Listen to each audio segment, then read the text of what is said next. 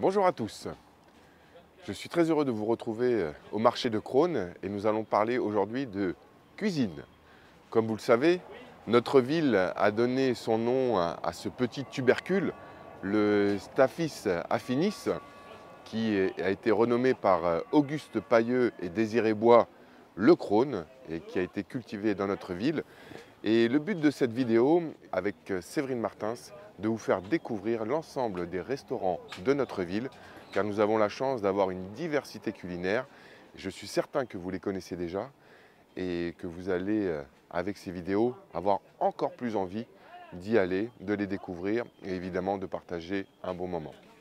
Je vous souhaite de profiter de tous nos restaurants et surtout de continuer de consommer local. Très bonne journée